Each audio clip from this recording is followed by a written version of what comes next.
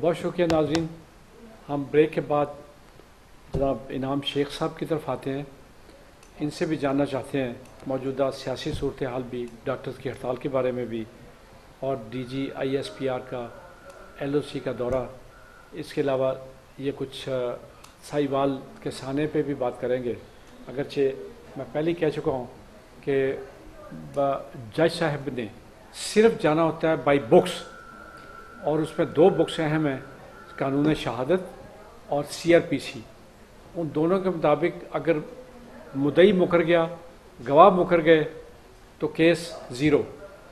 عزیز ترین بندہ بھی قتل ہو جائے، قیمتی ترین بندہ بھی قتل ہو جائے، گواہ مکر جائیں تو آپ کچھ نہیں کر سکتے۔ اسی طرح اب آپ اس کے مقابلے پہ چودہ قتل ہوتے پوری دنیا نے دیکھے ان لوگوں کے چہرے بھی پہچانتی ہے، دنیا ویڈیو میں بھی محفوظ ہے اور اس کے بارے میں گواہ بھی نہیں مکرے لیکن کیا انہیں سزا ہو گئی؟ جی نام شیخ صاحب، آپ بتائیے۔ بسم اللہ الرحمن الرحیم۔ بہت شکریہ بٹالوی صاحب، آپ نے مجھے پروگرام میں انوائٹ کیا اور موقع دیا اس پوائنٹ پہ گفتگو کرنے کا۔ بٹالوی صاحب، آپ کو پتا ہے کہ میں آئی ایس پی آر کے پینل پہ بھی ہوں۔ مجھے بھی انوائٹ کیا گیا تھا کہ آپ جائیں، کیونکہ میری طبیعت ناساز تھی میں جا نہیں پایا۔ لیکن آئی ایس پی آر نے بہت اچھا کیا۔ میڈیا کو بھی لے کے گئے اور تمام جتنے امپورٹنٹ ملک کے سفیر تھے وہ بھی ساتھ گئے۔ اور انہوں نے خود جا کے تین جگہوں پہ دیکھا کہ جس جگہ پہ بارڈر کے اوپر لائن آف کنٹرول پہ فائرنگ چل رہی تھی اور جتنا نقصان انہوں نے سیولین آبادی کو پہنچایا، یہ ساری چیزیں انہوں نے اپنی آنکھوں سے دیکھی اور پھر ان کو یہ بھی بریف کیا گیا کہ ادھر کون سا ٹیررسٹ لانچنگ پیڈ ہے، وہ بھی ذرا دکھا دیجیے۔ ان میں نہیں تھے تو وہ انڈین ہائی کمیشن نہیں تھے، کیونکہ ان کو انہوں نے اس کا کوئی جواب ہی نہیں دیا تھا لیٹر کا۔ اور انڈین ہائی کمیشن نے نہ ہی وہ پوزیشن پہ انپوائنٹ کی تھی جدھر سے لانچنگ پیڈ بنتا ہے۔ بہرحال آئی ایس پی آر نے جا کے وہ لانچنگ پیڈ دکھائے تھے جو عام لوگوں کے گھر تھے، عام سویلینس جدھر رہتے تھے اور جو نقصانات تھے وہ سارے دکھائے گئے۔ یہ تو ایک بہت اچھا مطلب آئی ایس پی آر کی طرف سے۔ اور ہمیشہ کی طرح انہوں نے بہت کیا۔ ابھی کل ہی اس کے نتیجے میں کسی نے اپنے ملک کو کوئی میسج بھیجا یا اس ملک کی طرف سے کوئی سٹیٹمنٹ آئی یا اس سفیر نے کوئی افشل لیول پہ جی وہ سفیروں نے کیونکہ یہ آپ کو پتا ہے کہ لانگ ٹرم پالیسی ہوتی ہے اور اس کا امپیکٹ آتا ہے جب آپ کی یونائٹڈ نیشنز میں کوئی میٹنگز ہوتی ہیں تو اس وقت یہ چیزیں پیش کی جاتی ہیں۔ تو ایک تو یہ بہت اچھی چیز تھی۔ دوسرا آج صبح نائک سیف علی جنجوا شہید ہو گئے۔ آئی ایس پی آر کی جانب سے کونڈیلنسز ہماری طرف سے۔ شہید کی فیملی کے لیے ہم تعزیت کر رہے ہیں اور ان کے دکھ درد میں برابر کے شریک ہیں۔ گو کہ شہید کبھی بھی آپ کو بھی پتا ہے کہ شہید کبھی بھی مرتا نہیں ہے۔ وہ زندہ ہوتا ہے اور اللہ تعالیٰ وہ رزق بھی دے رہا ہوتا ہے جو ہمیں نظر نہیں آتا۔ ثانیہ سائیوال پہ صرف اتنا عرض کرنا چلوں کہ ان کے بھائی نے کسی جگہ پہ پلاٹ لے لیا گھر لے لیا گھر لیا اور کچھ پیسے لے لیے۔ ہیں اور مزید ڈیٹیل وہ اگر چاہیں گے تو وہ بھی ہم شیئر کر دیں گے اپنے چینل کے اوپر۔ میاں صاحب کی صحت پہ اتنا ہی عرض کروں گا۔ اس پہ ایک چیز میں یہاں ایڈ کرتا چلوں۔ جی وہ علاقہ بھی بتا دوں گا جس علاقے میں انہوں نے کرتا ہوں جناب کھوسا صاحب جو چیف جسٹس پاکستان ہیں انہوں نے لا تعداد بیانات اس پہ دیے اور انتہائی دکھ کے ساتھ انہیں بیانات دیے کہ جھوٹے گواہ ایک قتل سے بدتر ہے اور ان کی وجہ سے سارا نظام نظام انصاف جو ہے وہ برباد ہو اگر دید کرنا بھی تھا تو اوپنلی کر لیتے نا تاکہ وہ پھر اسلام میں تو یہ کہ دید آپ اوپنلی دیتے ہیں اور پھر اوپنلی بات میں دیت الاؤڈ ہے۔ جی ہاں لیکن اوپنلی چھپا کے نہیں چوروں کی طرح نہیں۔ اوپنلی کر لیتے۔ جی اور پھر اس کے بعد وہ سٹیٹمنٹ دینے کی ان کے بھائی کو ضرورت نہیں تھی کہ کیا نا یہاں المیہ یہ ہے کہ گواہان بھی مکر گئے اور انہوں نے بھی کہہ دیا کہ یہ بندے ہمارے ملزم نہیں ہیں۔ جو کیس کو فالو کر رہے تھے پیروی انہوں نے ہاں۔ کہہ دیا ہوا تو آپ چھوڑ دیں ان کے بھائی نے کہہ دیا۔ اس سے میرے نزدیک یہ کوئی اگر کوئی جو شریف آدمی اینکر یا ہمارے مبصرین اگر اس پہ کوئی اپنا اظہار بھی کر رہے ہیں تو وہ بے جا کر رہے ہیں۔ اس سے کہ جج صاحبان ہمارے اب بھی دنیا کے بہترین ججز جن میں موجود ہیں اور لیکن ان کے ہاتھ بندھے ہوئے ہیں کتابوں نے ہاتھ باندھے ہوئے ہیں۔ بالکل جب تک میں یہاں کہنا چاہوں گا کہ اسلامی سزائیں نافذ نہیں ہوتی اور اس کے لیے اسلامی سزائیں نافذ کرنے والے لوگ بطور جج اپوائنٹ نہیں ہوتے ہمیں انصاف نہیں ملے گا نہیں ملے گا۔ اور امپورٹنٹ پوائنٹ سر گزارش یہ کرنی ہے کہ ڈاکٹرز آپ نے خود جس طرح بتا دیا کہ ہاں جی۔ اتنے ظالم ہو چکے ہیں کہ ہڑتال کر کے بیٹھے ہوئے ہیں لوگوں کو گولیاں لگی ہوئی ہیں علاج نہیں کر رہے۔ آپ ایکسپیکٹ کرتے ہیں وہ ڈاکٹر میاں صاحب کا علاج کریں گے۔ آپ ایکسپیکٹ کرتے ہیں وہ ڈاکٹر زرداری صاحب کا علاج کریں گے۔ آپ ایکسپیکٹ کرتے ہیں وہ کامن آدمی کا علاج نہیں کر رہے وہ کسی کا علاج وہ کسی کے قابو میں ہی نہیں ہے۔ نہیں وہ امپارٹنٹ بندوں کا علاج کر لیتے سر کسی کا نہیں کرتے M N A M P A جاتے ہیں وہ ان کی بھی نہیں سنتے۔ میں آپ کو بتا رہا ہوں۔ میں آپ بھی ایسے ڈاکٹرز کو جانتا ہوں جن کے نام بہت بڑے بڑے ہیں لیکن وہ وی آئی پی کے گھر پہ جاتے ہیں پورا پورا پوری ایمبولینس پورا آپریشن تھیٹر لے کے چلے جاتے ہیں۔ سر لیکن میں سے آپ آپ یہ نہیں کہہ میں سکتے اپنے دوسری ڈاکٹرز چیز کے متعلق یہ سمجھتا ہوں کہ میرے ہمارے ڈاکٹرز اتنے قابل نہیں ہیں۔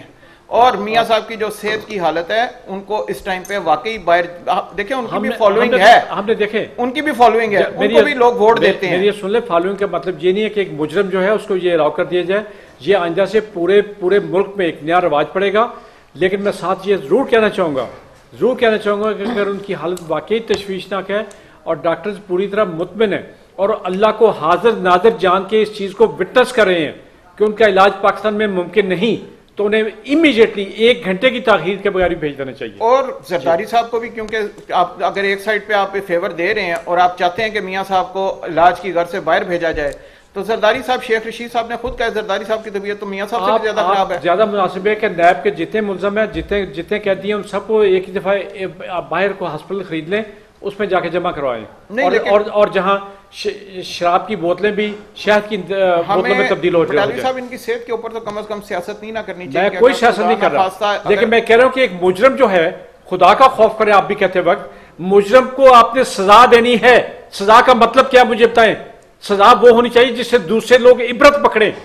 اگر یہی سزائیں ہیں تو پھر کوئی عبرت نہیں پکڑے- گا۔ میں میں یہ کہنا چاہ رہا ہوں انعام صاحب۔ بٹالی صاحب بنگلہ دیش کے اندر ایک خاتون کے ساتھ انہوں نے زیادتی کر کے قتل کیا سولہ بندوں نے۔ تو بنگلہ دیش کی عدالت نے ان سولہ کے سولہ بندوں کو پھانسی کی سزا الاؤ کر دی ہے۔ تو ہمارے ملک میں یہ قانون کیوں نہیں آ سکتا؟ ہمارے ملک میں چیزیں کیوں اس طرح رکی ہوئی ہیں؟ وہ بھی تو ایک ایسا ہی ملک ہے اسلامی ملک ہے۔ اس میں بھی قانون چل رہا ہے۔ ادھر بھی سولہ لوگوں کو دن دہاڑے انہوں نے کیمرے کی مدد سے پکڑ کے انہوں نے سزائیں دی ہیں۔ کہ وہاں گواہ خریدے نہیں گئے ہوں گے۔ وہاں بکے نہیں ہوں گے۔ وہاں بھائی نہیں بکے ہوں گے۔ اس لیے۔ تو یہ ہمارے ملک کا المیہ ہے۔ آگے آگے بتائیں۔ جی میرے تو یہ پوائنٹ سے امپورٹنٹ اچھا میں یہ سمجھتا ہوں اس وقت آپ جو میں اگین انسانیت کا پاکستان کا ایک اور بہت بڑا المیہ ناظرین آپ کے سامنے رکھنا چاہ رہا ہوں۔ افسوس کی بات ہے کہ اگر یہ دونوں بیمار ہیں اور واقعی بیمار ہیں لیکن آدھے لوگ کہہ رہے ہیں جی کہ یہ ڈرامہ ہو رہا ہے یہ ایک گورنمنٹ کے ساتھ معاہدہ ہو چکا ہے اور گورنمنٹ انہیں جان بوجھ کے سب بیمار ظاہر کر کے تو یہ باہر بھجوانا چاہ رہی ہے۔ اگر یہ بھی ہے تو قوم کا اعتماد بڑی بری طرح مجروح ہو چکا اور قوم شکوک و شبہات کے ایسے شکار ہو جائے گی کہ آئندہ کسی کی کسی بات پہ کوئی یقین نہیں کرے گا۔ جی قصوری صاحب نور بن قصوری صاحب آپ اپنے خیالات سے ہمیں ذرا بسم اللہ الرحمن کریں۔ الرحیم۔ محترم احسان صاحب بات یہ ہے کہ میں دو تین پوائنٹوں میں سے بات کرنا چاہوں۔ ایک تو بات یہ ہے کہ پہلے بطور میں کاشتکار کے بات کرتا ہوں کہ ہم جو بیجتے ہیں نا وہی کاٹتے ہیں۔ اب یہ نہیں ہوتا کہ ہم بیجے تو مطلب کہ گندم اور وہاں سے کاٹے ہم چنا یا باجرا یا مکئی، ایسا نہیں ہوتا۔ پہلی بات ہے، یہ میاں صاحبان کا جو خاندان ہے، ان کے لیے اصول بھی علیحدہ ہیں۔ وہ جو آپ سی پی سی کی بات کر رہے ہیں، وہ بھی علیحدہ ہے۔ مائنر ایکٹ بھی ان کے لیے علیحدہ ہے۔ میجر ایکٹ بھی ان کے لیے علیحدہ ہے۔ ہائی کورٹ کے بھی لیے ان کے لیے علیحدہ ہے۔ سپریم کورٹ کے بھی ان کے لیے علیحدہ ہے۔ جوڈیشری جو سبارڈینیٹ ہے، وہ بھی علیحدہ ہے۔ یہ ایک خصوصی فیملی ہے۔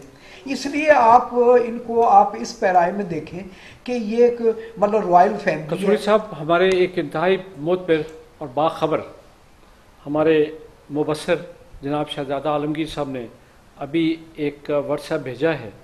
اس میں انہوں نے اطلاع دی ہے کہ نواز شریف کو لے جانے کے لیے سعودی طیارہ پاکستان آنے کے لیے اس وقت ایئرپورٹ پہ تیار کھڑا ہے۔ اس کے ساتھ ساتھ انہیں بھیجا میں اس کی تصدیق نہیں کر پا رہا نہ میں اس کی تصدیق شدہ بات کہہ رہا ہوں لیکن میں جو انہوں نے انفارمیشن بھیجی ہے میں ایز اٹ از ناظرین تک پہنچا رہا ہوں۔ اسی حوالے سے آپ سے بات ایک سیکنڈ ایک سیکنڈ اور سن لینا۔ انہوں نے کہا جی کہ نواز شریف نے ڈیل کی بیس فیصد رقم ادا کر دی ہے۔ ان کے لندن جانے کا پلان تیار ہے۔ چارٹرڈ سعودی طیارہ بھی پاکستان پہنچنے کے لیے تیار ہے۔ نواز گروپ کی طرف سے ضمانتیں تحریری شکل میں فراہم کر دی گئی ہیں اور اس کی تصدیق بھی کر لی گئی ہے۔ پلی بارگیننگ کے تحت ادائیگی کی پہلی قسط نو اشاریہ دو ارب ڈالر، بقول شہزادہ عالمگیر صاحب کے بغیر ذمہ واری لیے میں کہہ رہا ہوں۔ جسے کہتے ہیں نا وداؤٹ پریجوڈس میں بتا رہا ہوں، وہ کہتے ہیں نو اشاریہ دو ارب ڈالر ادا کر دی گئی ہے۔ بقایا رقم طے شدہ فارمولہ کے تحت ادا کی جائے گی، جس کی ضمانت دو ارب ممالک نے دی ہے۔ میں ایک دفعہ پھر کہہ رہا ہوں، یہ شہزادہ عالمگیر صاحب کی اطلاع ہے۔ میں نے جس طرح انہوں نے بتایا میں نے آگے پیش کر دیا۔ اچھا تو میں بات کر رہا تھا کہ کیوں؟ دیکھیں جب جب سے ہم لوگ دیکھیں سیاست میں دیکھ لیں کاروبار میں دیکھ لیں اس خاندان کے ساتھ ہمیشہ جو سلوک ہے نا مختلف قسم کا کیا گیا ہے۔ چاہے وہ سپریم کورٹ پہ حملہ کریں ان سے کوئی نہیں پوچھتا۔ سپریم کورٹ کے ججوں کو ون کریں کوئی ان کو نہیں پوچھتا۔ ہائی کورٹ پہ حملہ کریں کوئی ان کو نہیں پوچھتا۔ سبارڈینیٹ جج ہے وہ ان کے گھر انصاف دینے کے لیے گیا۔ اور اس سے پوچھ رہا ہے کہ میاں صاحب اب تو خود اس نے تسلیم کیا کہ میں اس کے گھر گیا ہوں؟ میاں صاحب سے پوچھنے کے آپ کو کس قسم کا انصاف چاہیے؟ اور اور مکے میں بھی اس کا جو بڑا بیٹا ہے کا جو جو ڈاکے میں باقاعدہ حصے دار ہے۔ باقاعدہ ہاں اس کے بیٹے کی میں بات کرتا ہوں۔ اس کا بیٹا اپنے دوستوں کے ساتھ جس دن میاں صاحب یہ ان کی ضمانت کا ٹائم ختم ہوا تھا تو وہ اپنے گھر سے جو کوٹ لکھپت جیل کی طرف جا رہے تھے تو ان کے بیٹے کے ساتھ ایک بندہ کھانا کھا رہا تھا پاکستانی۔ تو وہ کوئی بندہ ہے نا بہت زیادہ نعرہ بازی کر رہا سی کہ میاں صاحب اسی تیرے نال فلانا، یہ وہ۔ تو وہ اس کا بیٹا ہے، ہنس ہنس کے کہہ رہے سے کہ دیکھو بیوقوف سی میاں صاحب نے اس زندگی چ ہاتھ بھی نہیں ملایا کدے۔ تے میاں صاحب دا جان نثار وہ بن رہے ہیں۔ تے اسی لوگ اتنے بیٹھے ہیں۔ اچھا بات یہ ہے کہ سر، آپ پہلی بات ہے، جیسے میں نے کہا تھا کہ ہم جو بیچتے ہیں وہی کا۔ میاں صاحبان کا جو خاندان ہے، اس کی پرورش سیاست کے لیے ہوئی نہیں تھی۔ آپ دیکھیں نا اس کے والدین تھے۔ انہوں نے کبھی کوئی دعویٰ کیا ہے کہ ہم نے اپنے بیٹے کو عالم بنانا تھا؟ کسی کو ہم نے انجینئر بنانا تھا؟